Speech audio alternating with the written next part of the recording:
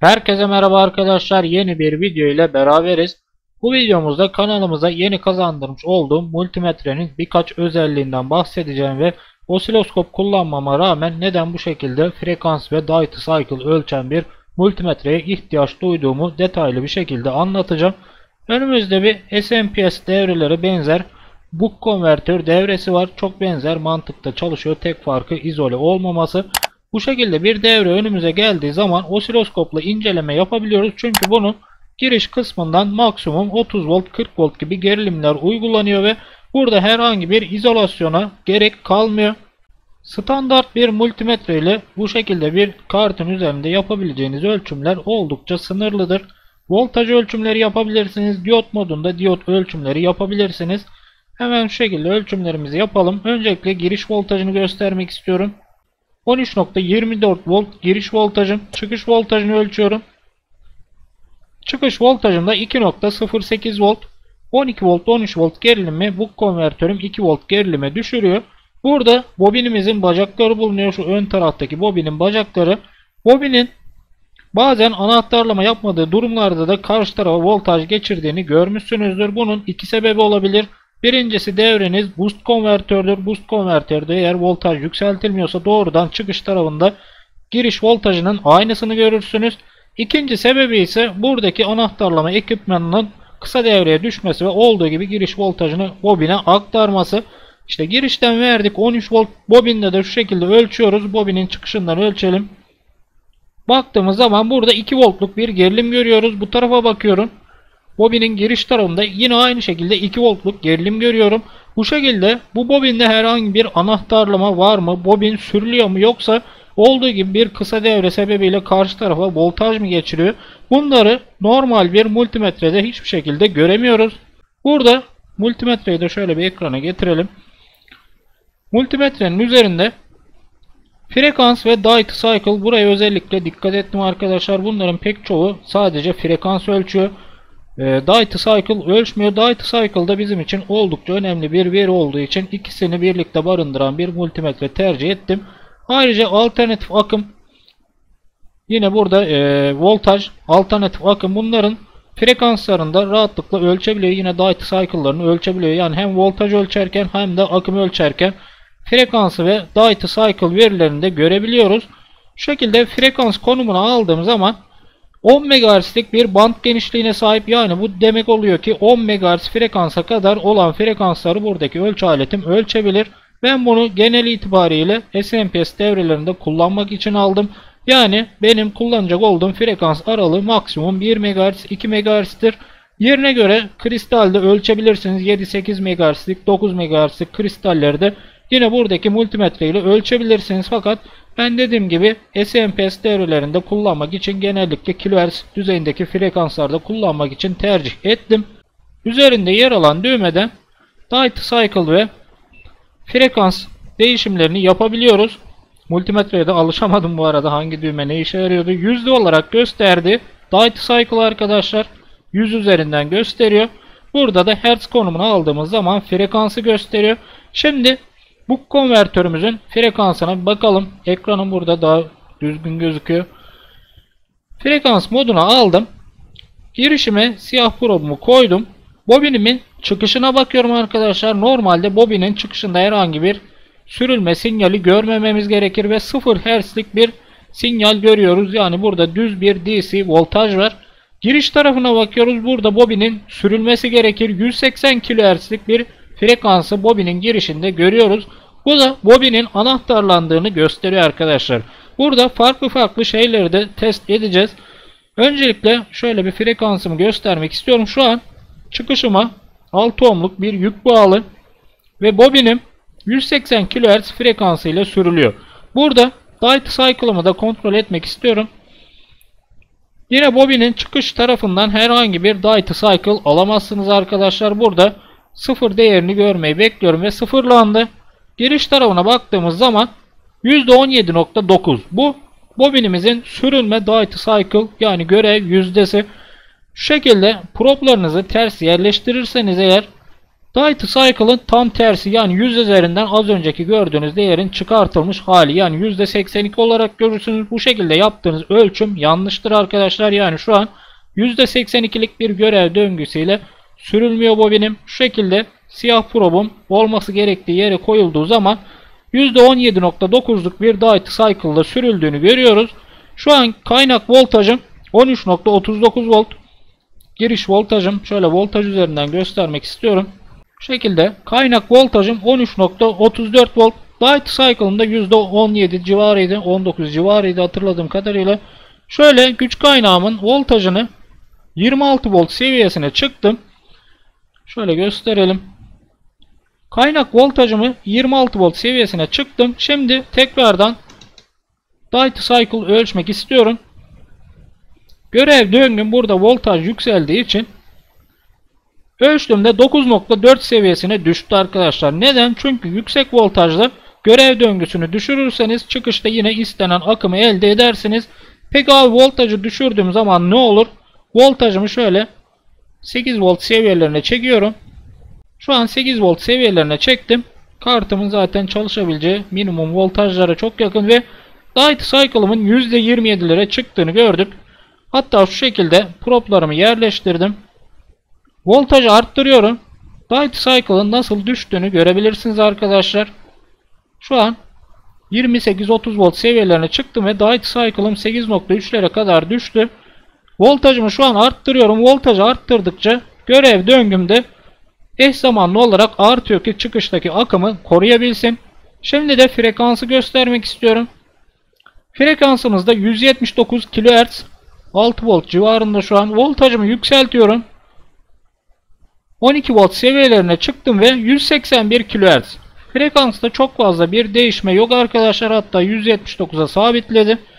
Şekilde 29 volt seviyesine çıktım ve tekrardan 180 kHz frekansında 179-180 arasında yani sabit bir frekansta anahtarlama yapıyor. Frekansım sabit. Data cycle'ımı arttırıp azaltarak çıkıştaki akımı dengelemeye çalışıyor. Anahtarlama entegresi. Gördüğünüz gibi frekans ve data cycle ölçen bir multimetre bu şekilde bir anahtarlamalı güç kaynağı üzerinde çok fazla veriyi okuyabilmenize olanak sağlıyor. Burada en önemli en kritik nokta abi senin ölçü aleti ölçüyor eyvallah da bu değerler doğru mu? Hemen teyit edelim. Şu şekilde giriş anahtarlama frekansımı ölçmek istiyorum. 180.2 kHz'lik bir frekansa bobinin sürüldüğünü görüyoruz. Bobinimizin girişi kırmızı probu koyduğum yer. Gelin şimdi osiloskop üzerinde aynı ölçümü yapalım. Bakalım aynı frekansı verecek mi? Zira aynı frekans değerini vermezse ciddi bir sapma payı varsa bu ölçü aletinin güvenilmez olduğunu bize gösterir. Osiloskop bağlantımı yaptım. Öncelikle bobinin çıkışını ölçmek istiyorum. Herhangi bir dalgalanma yok. 2.2 voltluk bir gerilim okuması yapıyor. Bobinin girişini kontrol edelim. X10 modunu alıyorum. Burada ölçeceğimiz voltaj biraz daha yüksek.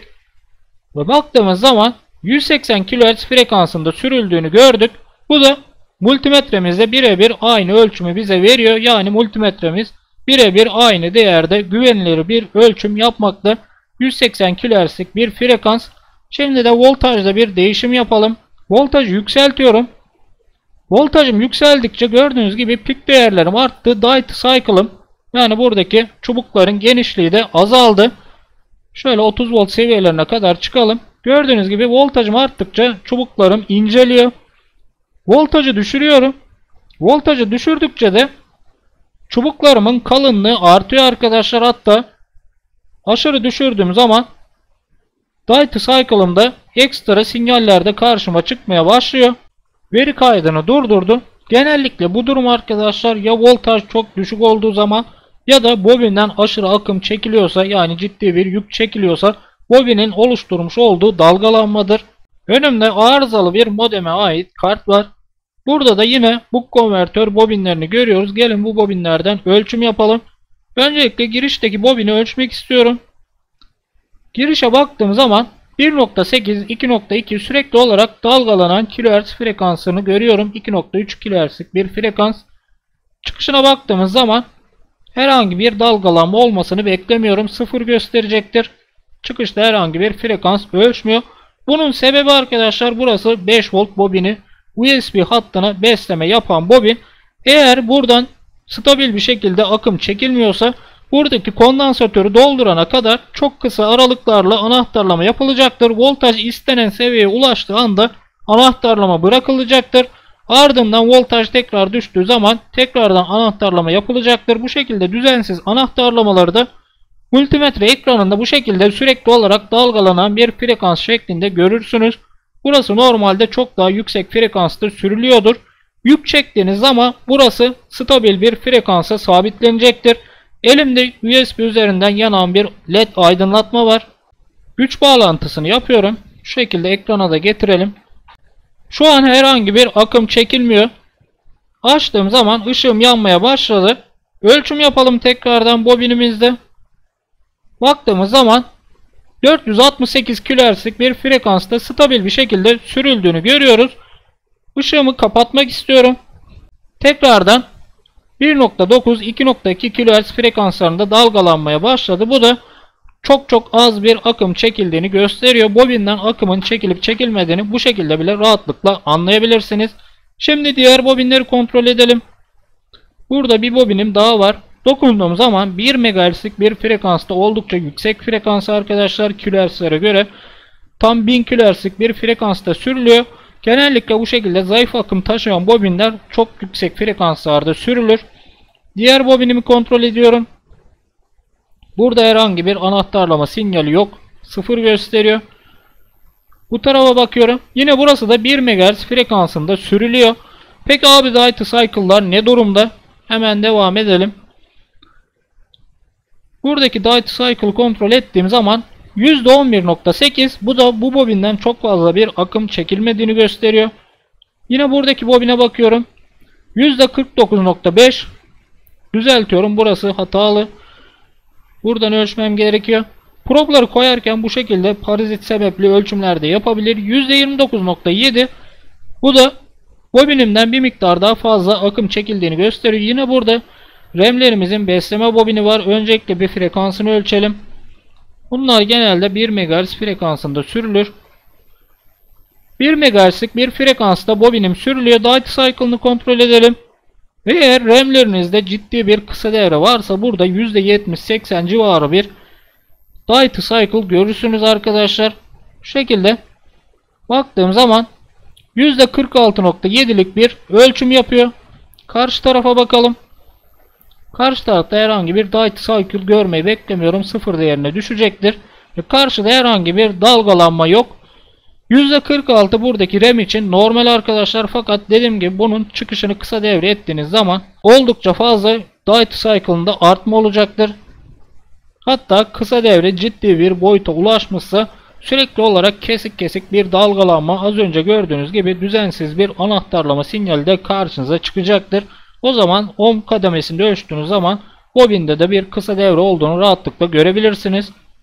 Eğer bu şekilde frekans nedir, data cycle nedir, sürülme nedir, bu konvertör, boost konvertör nedir, bunlar ne anlama gelir, elektronik kartlar nasıl tamir edilir öğrenmek istiyorsanız da sizler için eğitim setleri hazırladık. Şu an videonun alt kısmında bir e-posta adresi paylaşıyoruz. Oraya yazarak kurslarımızı sipariş edip kendinizi geliştirebilir.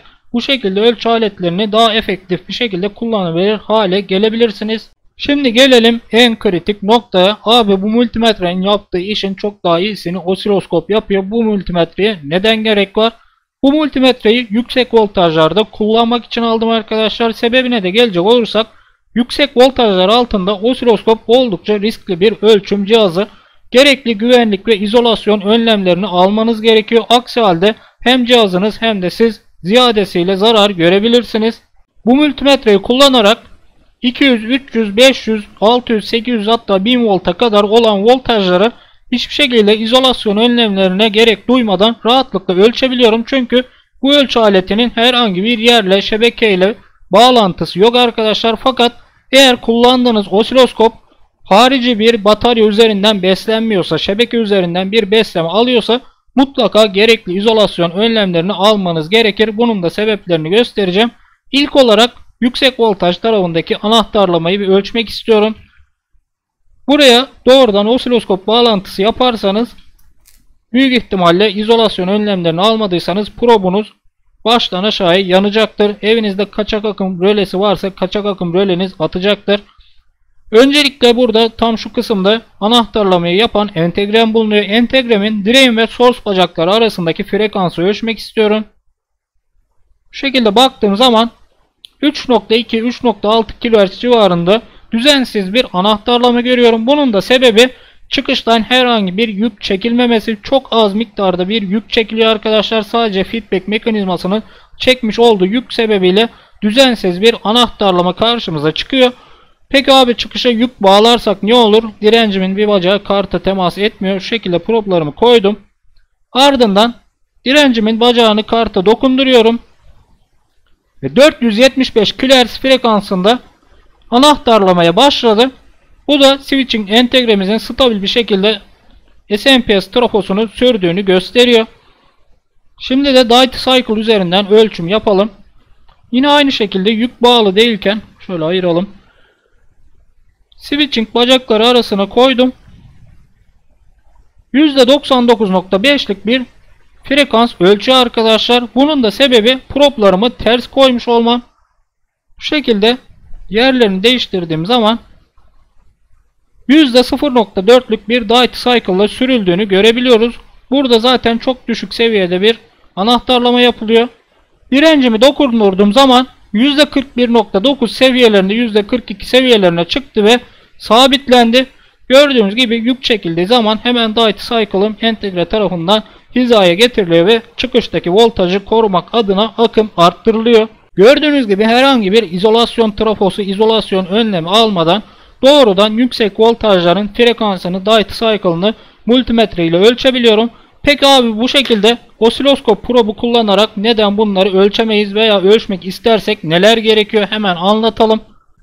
Bu şekilde bir osiloskopu yani şebekeyle bağlantısı doğrudan yapılmış bir cihazı kullanıyorsanız buradan kart üzerinden ölçüm yapmaya çalıştığınız anda buradaki şebeke voltajı cihazınızın şasisi üzerinden devreyi tamamlayacak ve probunuza ve cihazınıza ciddi zararlar verecektir. Hemen sebebini gösterelim. Şu şekilde hazır moduna aldım. Bağlantılarımı göstermek istiyorum. Ne nereye bağlı? Osiloskop probumun GND'si şu şekilde doğrudan buraya geliyor arkadaşlar. Şu an eğer burada ölçüm yapıyorsanız buradaki GND hattını ölçüm yapacağınız noktaya bağlamanız gerekir. Atıyorum şebeke voltajını ölçecekseniz bunu buraya bağladınız ve bu mavi kablomda faz bulunuyor arkadaşlar. 220 volt faz gerilimi buradan GND probumdan buraya geliyor arkadaşlar. Buradan cihazımın şasisine geliyor. Cihazımın şasisini takip ettiğim zaman arka tarafta USB üzerinden besleme alıyor. Buraya dokunduğum zaman buraya da geliyor arkadaşlar.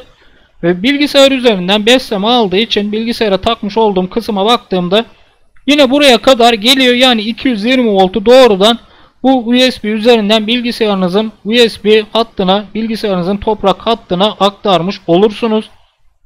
Şu an bilgisayarımda kullanmış olduğum DC adaptör izole bir şekilde şebekeden ayrı olduğu için buraya 220 volt gelmesi herhangi bir probleme yol açmayacaktır. Fakat yine bilgisayarımın toprak hattında 220 volt gerilim bulunması oldukça tehlikeli olduğu için dokunduğunuz anda bilgisayarın e, açıkta bulunan metal USB kısımlarından çarpılma ihtimaliniz var.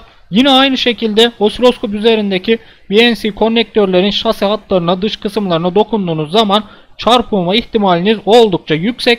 Hele ki kullandığınız cihazın BNC konnektörlerinin şasesi genelde hattı eğer dahili bir güç e, ünitesi barındırıyorsa içinde ve bu güç ünitesinin topraklama hattına buradaki konnektörler bağlıysa doğrudan 220 voltun toprak hattına akmasına sebep olacaktır. Buradaki probunuz boydan boya yanacaktır. Yine bir ikinci sebep de probumun üzerinde 1x ve 10x modları var arkadaşlar. 10x modunu aldığım zaman osiloskop giriş voltajımın ölçüm voltajımın 10 katına kadar ölçüm yapabiliyorum. Giriş voltajım osiloskopun giriş ölçüm voltajı burada ön yüzünde baktığımız zaman şöyle göstermek istiyorum. Tam şu kısımda maksimum 30 volt DC veya AC gerilim uygulamanız gerektiğini gösteriyor. Bu demek değil ki bu cihaz 30 voltluk gerilimleri ölçüyor. Burada tamamen çarpan devreye giriyor arkadaşlar. Osiloskopun ölçüm voltaj aralığı 6 volt civarında. 5 volt üzerinden hesaplarsak 1x modunu aldığım zaman doğrudan prop'taki voltajı 5 volt olarak kaynağa gönderiyor. Ben buraya 1x modunda 200-300 voltluk bir gerilim uyguladığım zaman giriş voltajımın maksimum değeri olan 30 voltu aştığım için cihazım aniden zarar görecektir. Yine 10x modunu aldığım zaman da 5 voltluk gerilimi 10 ile çarptığım zaman 50 volt 50 voltluk bir gerilime kadar güvenli ölçebilirim. Onun üzerine çıktığım zaman ölçüm aralığının dışına çıkacaktır arkadaşlar. Yani 60 voltun üzerinde bir ölçüm yapmam bu Pro bile mümkün değil. Peki abi 100x Pro alsak ne olur? Yani 100x Pro aldığınız zaman da 100 ile çarpmış olursunuz. 5 çarpı 100 500 volta kadar stabil bir şekilde maksimumda 600 volta kadar ölçüm yapabilirsiniz. 600 voltun üzerindeki ölçümlerde de cihazınız zarar görmez ama ölçüm yapamaz ki normal bir şebeke geriliminin pik değerlerine baktığımız zaman 700-800 voltluk ani pik değerleri olduğunu görüyoruz. Bunun da yine cihazınıza zarar verme ihtimali var. Yok abi ben illaki osiloskopla ölçüm yapacağım diyorsanız buraya 200x 400x problar alıp buradaki giriş voltajına uygun seviyeye düşene kadar probunuzu çarpanını yükseltebilirsiniz. Veya sağlam bir para ödeyip buradaki ölçüm voltaj aralığı 80-100 volt civarına kadar çıkan yani 80-100 voltu birebir herhangi bir çarpan değeri olmadan ölçebilen Rigol bir osiloskop alıp onu da kullanabilirsiniz. Eğer bütün bunlarla uğraşmak istemiyorsanız ben şu şekilde SMPS devresinin işte Travon'un üzerine düşen frekansı anahtarlama yapılıyor mu? İşte gate'ine MOSFET'in gate'ine gelen frekans ne düzeyde anahtarlaması, data cycle'ı ne durumda bunları kontrol etmek istiyorum. İşte 10x, 100x izolasyon vesaire uğraşmak istemiyorum diyorsanız bu şekilde bir multimetre fazlasıyla işinizi görecektir. Bu arada bir noktaya da değinmek istiyorum. Bunları şu şekilde ekranı komple bütün halde olan propları böyle alttan sokulan modelleri var. Onlara da kesinlikle itibar etmeyin arkadaşlar. Onlardan da kullandım. 50 kHz'lik bir frekansı 500 kHz düzeyinde ölçtüğünüz zaman yaptığınız hata size bu marka bir cihazın bedelini fazlasıyla ödetecektir. Fiyatına özelliklerine aldanarak ucuz Çin malı ürünleri kesinlikle kullanmayın. Bu arada bunları söylüyorum herhangi bir reklam vesaire amacım da yok arkadaşlar. Unity uzun yıllardır kullandığım bildiğim bir marka olduğu için rahatlıkla tavsiye edebiliyorum. Eğer bütçeniz uygunsa Fluke markasını da tavsiye ederim. Bunun bir üst segmenti olarak onu da rahatlıkla gönül rahatlığıyla kullanabilirsiniz. Umarım videomuz faydalı olmuştur. Faydalı olduğunu düşünüyorsanız beğenmeyi, yorum yapmayı, kanalımıza abone olmayı unutmayın. Bir sonraki videoda görüşmek üzere. Hoşçakalın.